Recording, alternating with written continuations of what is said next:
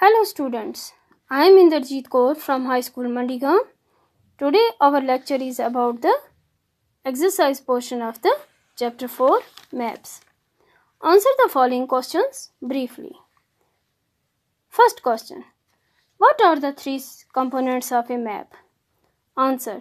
The three components of a map are distance, direction and symbol. Second question. What are the four cardinal directions? Answer. The four cardinal directions are north, south, east and west. Next question.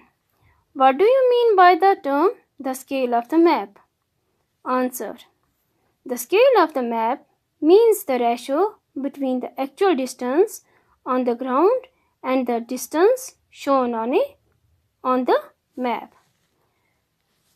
Another question. How are maps more helpful than a globe? Answer. A map is a representation or a drawing of the earth's surface or a part of it shown on a flat surface according to a scale of whereas a globe is useful when we want to study the earth as a whole. Next question. Distinguish between a map and a plan. Answer. Map. It is a representation or a drawing of the earth's surface or a part of it drawn on a flat surface according to a scale. Example, a village, town, country, etc. Plan. It is a drawing of a small area or a large on a large scale.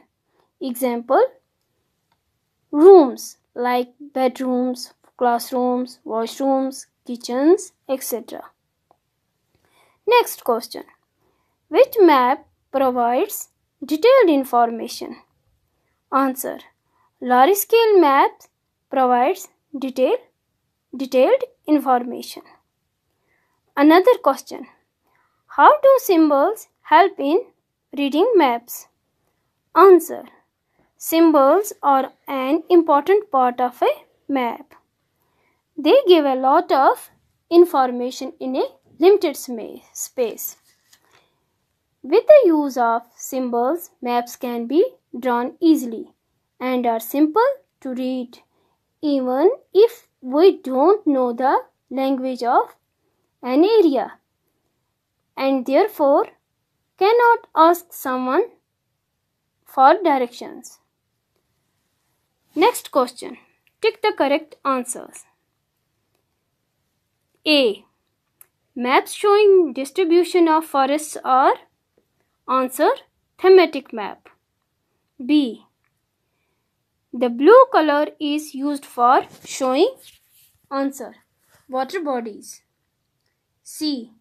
A compass is used Answer to find the main direction. D. A scale is necessary answer for a map. Thank you.